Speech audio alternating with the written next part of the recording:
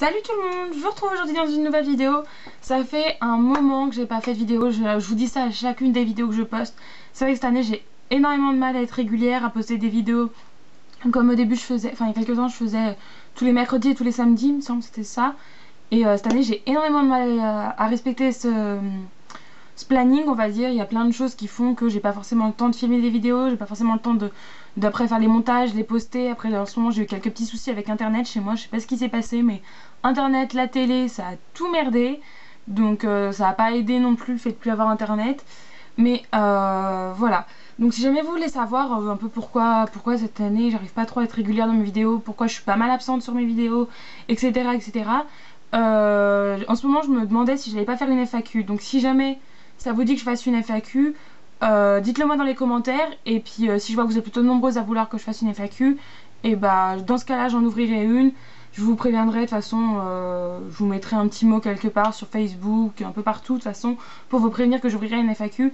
Mais voilà, si jamais vous avez des questions à me poser, voilà, ce serait le bon moment pour me les poser, surtout sur mon absence, parce qu'à chaque fois au début de vidéo, à chaque fois je vous répète pourquoi je suis absente, etc. etc. et c'est vrai que je détaille pas trop euh, le pourquoi du comment que je suis absente, etc. etc. alors que c'est vrai qu'à chaque fois c'est un peu pour les mêmes raisons, mais euh, j'approfondis pas trop parce que c'est pas le but des vidéos euh, de vous expliquer pourquoi je suis absente, qu'est-ce qui m'arrive précisément, machin, bidule.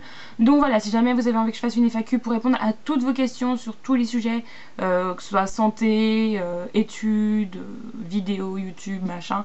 Voilà, si jamais ça vous tente que je fasse une FAQ, dites-le moi dans les commentaires et puis voilà, je vous tiendrai au courant euh, de l'avancement de cette FAQ.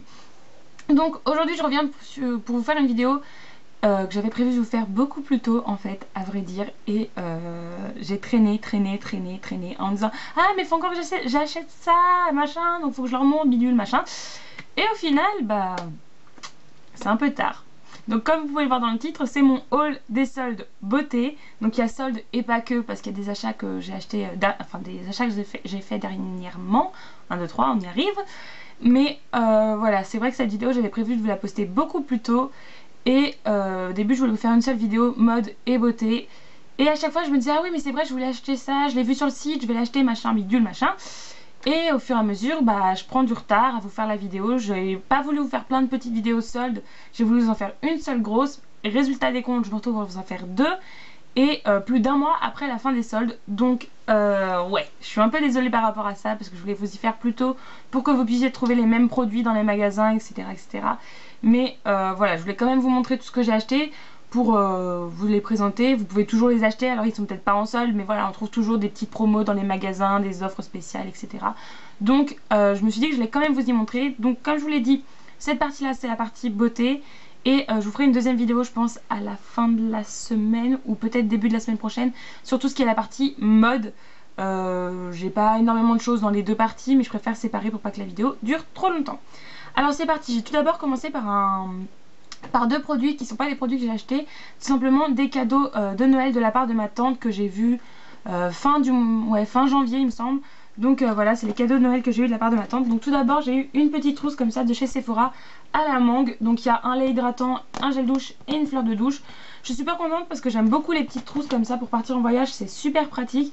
Et euh, l'odeur de la mangue j'aime beaucoup, c'est une odeur que j'aime énormément. Donc euh, je suis super contente, ça va me servir si je pars en, voyage, en week-end, euh, tout ça et tout ça, je vous en dis pas plus. Mais voilà, je suis super contente parce que ça c'est vraiment pratique. Et puis les petites trousses, j'en ai jamais assez, c'est toujours pratique pour mettre le maquillage et des trucs comme ça. Donc je suis super contente pour ça. Et euh, avec, il y avait une petite palette de chez Sephora, donc c'est là. Je sais plus le nom de la palette. En plus, j'avais essayé de le retenir, mais je sais plus. C'est même pas écrit en plus. Bref, c'est les petites palettes comme ceci, euh, en forme un peu d'enveloppe. Et hop Ah, c'est la VIP Pass, la palette. Voilà. Et elle se présente comme ceci. Donc il n'y a pas de miroir, hein, c'est comme ceci. Il y a un petit tuto vite fait qui explique un peu euh, quelle couleur mettre où. Et euh, voilà les couleurs, donc elle est juste magnifique, j'aime énormément les couleurs, il y a du marron haut, il y a du bleu, il y a des couleurs euh, plutôt neutres ici. Enfin vraiment niveau couleur c'est parfait pour les fêtes, pour, euh, pour tout. Et même à tout le temps avoir sur soi, c'est vraiment pratique. Je pense que c'est une palette que je glisserai facilement dans mon sac à main si jamais voilà, je pars quelque part, que c'est pas prévu que je reste dormir ou quoi. Bah tout le temps glisser cette palette dans mon sac au cas où pour le lendemain pour dire d'être présentable. Donc voilà, c'est une petite palette que j'aime beaucoup parce que c'est vraiment pratique, ça se glisse partout. Il y a des couleurs euh, pour tout type de maquillage, des trucs de, sorte, de, soirée, des trucs plutôt neutres et discrets. Enfin, plutôt, plutôt ravi de cette euh, petite palette. Ensuite, dans les achats euh, que j'ai fait vraiment, que j'ai fait moi pendant les soldes, je vais vraiment vous présenter genre ce que j'ai acheté pendant les soldes. Et après, je vais vous présenter ce que j'ai acheté hors solde. Donc, tout ce que j'ai acheté pendant les soldes niveau beauté, c'était tout soldé ou du moins plus ou moins. Il y a un article, c'est un peu, un peu compliqué. Donc tout d'abord, euh, je vais faire pas dans l'ordre dans lequel je les ai achetés, mais dans l'ordre par magasin. tout d'abord, je me suis pris un fard à paupières de chez Kiko, qui sont euh, comme ceci, c'est ceux qui sont euh, en vague là, qui utilisent sec et mouillé, je crois, c'est ça. Je crois que c'est ceux-là. Je sais pas comment ils s'appellent ces fards là, enfin bref c'est les fards qui sont carrés comme ceci. J'ai pris la, teinte 201 qui est une sorte de champagne rosé, enfin qui est juste magnifique. C'est une couleur que j'aime par-dessus tout. J'utilise tout le temps, tout le temps. Même quand je mets juste de l'eyeliner, comme aujourd'hui. Bon, je vais pas utiliser celui-ci, mais j'ai utilisé un autre fard dans le même genre. Euh, voilà, c'est vraiment une couleur que j'aime beaucoup, qui passe partout.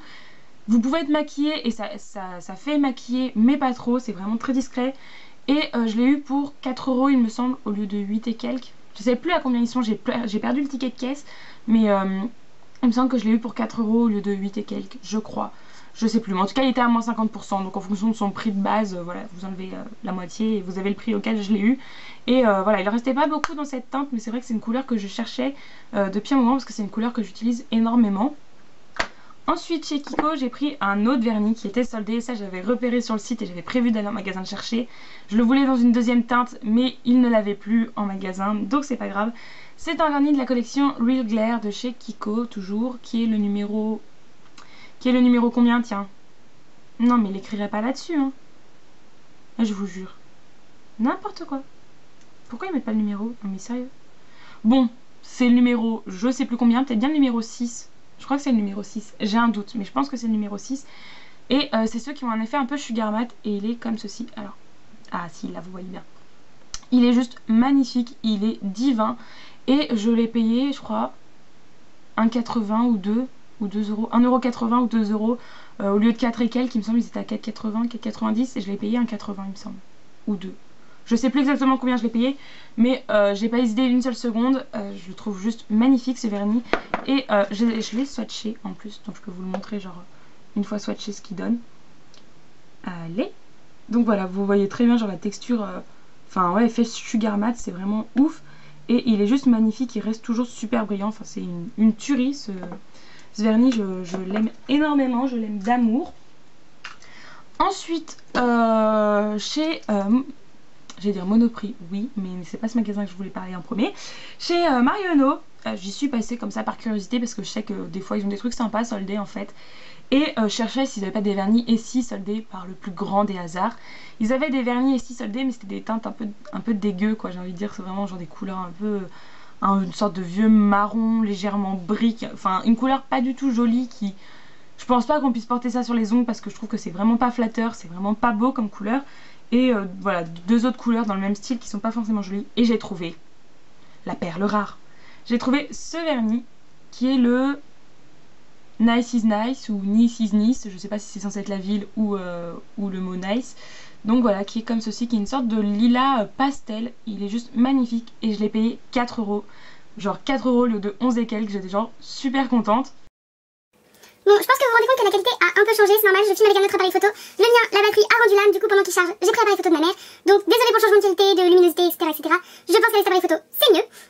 Donc bref, euh, pour en revenir au vernis ici dont je vous parlais, donc euh, ouais, il est... Il est super joli, c'était le dernier, j'étais vraiment surprise de trouver une... enfin de, de le trouver Parmi tous les vernis ici soldés qui étaient hyper moches, je trouvais celui-ci qui est une couleur super jolie. Je trouve que ce soit pour, pour l'hiver ou même pour le printemps. Voilà, c'est vraiment une sorte de, de, lilas très très pastel. Vraiment, ça fait penser un peu au Fiji, mais euh, plus violet en fait. C'est vraiment une couleur que, que, je trouve très jolie, qui fait très propre et très classe sur les, sur les ongles. Donc euh, voilà, payer 4 euros et quelques au lieu de 11, il n'y a pas photo, c'était genre la super bonne affaire. Et pareil que l'autre, je l'ai swatché également, donc je pense que vous verrez un peu. Mais là, il ressort un peu gris. Mais voilà, il est plus euh, violet, plus lavande. Ensuite, donc cette fois-ci, chez, Monoprix, euh, j'ai pris deux vernis. Et c'est là qu'il y a un petit truc qui fait que c'est soldé, mais bof. Donc euh, ils étaient tous les deux dans un bac où c'était marqué euh, moins 50% sur les vernis, qui avait une petite étiquette rose. Vous voyez, les deux ont une étiquette rose, hein, je j'ai pas rêvé. Et du coup j'ai pris un vernis de la marque Revlon qui est le... Je pense que c'est ça son truc, il n'y a pas de nom? Ah si, un nom. Scandalous, c'est Scandalous, super beau, euh, super bel accent. Hein. On, notera l'accent anglais magnifique, euh, qui est le numéro 761. Hop. Voilà. Et euh, un signe full color qui est le... Mmh, d'accord. Je vais vous épargner ça. Qui est le Gilded, Gilded, je sais pas trop comment ils le disent. Voilà. Et donc, il ressemble à ça, les deux vernis. J'ai eu une folie des paillettes, je sais pas ce qui m'est arrivé. Et au moment de passer à la caisse, en fait, elle bip, euh, la caissière bip les deux vernis, je lui demande, je lui quand même demandé, hein, la réduction est bien passée sur les deux vernis? Oui, oui, oui, oui, vous auriez dû les payer tant vous payez tant. Bon, d'accord, ok. Une fois rentrée à la maison, je me dis quand même, je vais vérifier sur le ticket de caisse. J'aurais dû le faire tout de suite, vous allez me dire, j'aurais dû vérifier tout de suite. Mais moi, naïve comme je suis, elle me dit oui, oui, oui, oui, vous voyez, vous auriez dû payer tant et vous payez tant, machin, la réduction s'est passée, machin, bidule. Sauf que manque de peau, la réduction est passée sur celui-ci, mais pas sur celui-ci. Alors je me dis, peut-être que celui-ci n'avait pas réellement la réduction et qu'il y a des gens qui sont amusés à décoller les petites étiquettes, à les remettre sur d'autres vernis pour faire des blagues, ce qui n'est pas impossible, on va se le dire, hein, c'est pas impossible que ça arrive. Donc euh, du coup c'est pas grave parce que je les trouve pas excessifs les vernis in full color, donc je l'ai payé 4,99€ et euh, le vernis Revlon qui est normalement à 9€ quelque, je l'ai payé 4,98€ il me semble. Donc je suis plutôt super contente parce que les vernis Revlon, c'est vrai que j'ai trouvé très joli et j'ai jamais osé en acheter parce que je trouvais ça un peu cher en fait. Sans vraiment savoir la qualité, euh, j'osais pas trop. Et euh, c'est vrai que celui-ci est très très beau, c'est un, vernis noir qui n'est pas opaque et qui est rempli de paillettes fuchsia de différentes tailles. Il est juste sublime. Et donc pareil, je les ai swatchés les deux, du coup vous pouvez voir ce que ça donne. Alors le Revlon en haut et le Full Color en bas. Et euh, voilà, c'est deux vernis que je trouve très jolis. Je sais pas ce qui m'est arrivé, j'ai une passion paillette en ce moment. Entre le, vernis euh, Kiko Rivière et euh, ces deux-là, je, sais pas. J'ai eu un, coup de folie pour les vernis à paillettes, alors que j'en mets très rarement. Ensuite, je suis passée chez Yves Rocher j'avais un, un, truc de réduction que j'ai reçu par mail, vu que j'ai la carte de fidélité, je pense comme beaucoup. Euh, un truc genre on avait 50% de réduction et on avait 10% de réduction supplémentaire. Du coup, j'ai racheté mon mascara Chéri d'amour qui est à 24 euros. Du coup j'ai eu les moins 50% dessus, donc il est passé à 12 euros. Et en plus des moins 50%, j'ai eu encore moins 10%, du coup je l'ai payé une dizaine d'euros au lieu de 24. Donc il n'y a pas photo, je l'ai payé genre le prix d'un mascara de supermarché. Alors qu'il est 100 fois mieux, c'est mon mascara chouchou de tous les temps, je l'adore. C'est un truc de dingue, c'est celui que je porte aujourd'hui. Et je sais pas en fait si vous verrez les cils qu'il fait, mais il est juste mais ouf, C'est un, un mascara que j'adore. Donc c'est vrai que je l'ai racheté sans hésiter vu que j'avais vu que j'avais cette réduction euh, de 10% supplémentaire. J'ai pas hésité et je suis vraiment super contente. Donc il est encore dans l'emballage parce que j'ai pas fini celui que j'ai déjà, euh, qui est le même mais je l'ai pas encore fini. Du coup c'est un peu genre mon mascara de secours. Et ensuite dans ce qui n'était pas soldé, donc je me suis racheté un eyeliner parce que mon eyeliner euh, a rendu là il était vide donc il a fallu que j'en rachète un. Et j'ai décidé de faire une folie et d'acheter un eyeliner feutre. Donc j'ai jamais acheté d'eyeliner feutre de toute ma vie. J'ai jamais utilisé d'eyeliner feutre de toute ma vie. J'ai toujours été au eyeliner liquide et euh, une fois j'ai testé un eyeliner gel de chez ELF. Mais voilà, les, eyeliners feutres, j'y ai jamais touché.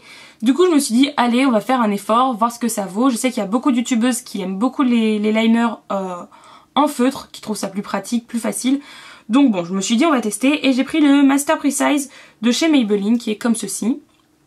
Voilà, donc euh, il est censé être waterproof, hein. j'ai revérifié sur l'emballage et tout machin, il est censé être waterproof, il ne l'est pas du tout, hein. clairement il ne l'est pas, il, bave à la fin de la journée, euh, il s'en va avec la bioderma, euh, on frotte un peu avec de l'eau, ça coule de partout, donc clairement il n'est pas waterproof alors qu'il est censé l'être, hein. je précise, j'ai quand même relu sur l'emballage pour être sûr. Donc il n'est pas waterproof. Après sinon j'aime bien, ce que j'ai utilisé aujourd'hui, je sais pas si vous verrez, voilà, c'est un eyeliner feutre. Euh, voilà, je suis pas fan parce que je préfère les liners liquides en général. L'application est, plutôt pratique et tout, mais en fait j'ai l'impression qu'il faut grave appuyer pour avoir, euh, pour avoir quelque chose en fait. Si on passe juste comme ça, bah on n'a rien. En fait il y a presque rien. Alors qu'avec un eyeliner liquide, on a... Alors que là, faut vraiment appuyer pour avoir quelque chose et euh, je trouve ça un peu dommage. Et même en le mettant, on est obligé de repasser 3-4 couches parce que ça fait des traces de là où on est passé, parce qu'il faut appuyer pour qu'il y ait un produit qui sorte. Du coup, euh, je suis assez mitigée parce que c'est vrai que je trouve ça pratique parce que c'est vite fait le matin. Il m'a fallu un moment pour prendre le coup de main parce que je suis pas habituée à cette forme d'eyeliner là. Du coup, euh, voilà, mais ça va vite le matin, c'est vite fait, on trace le trait, on remplit, basta, pouf, fini. Mais euh, je suis quand même pas fan et je pense que je vais rapidement repasser au liner euh, liquide parce que c'est vrai que c'est bien, mais bof. Et surtout que celui-là, il m'a coûté une dizaine d'euros, entre 10 et 11 euros je crois. Donc ça fait un peu, un peu suer qu'il est censé être waterproof et il ne l'est pas. Et qu'en plus, voilà, que ce soit pas exceptionnel niveau application et niveau pigmentation on va dire.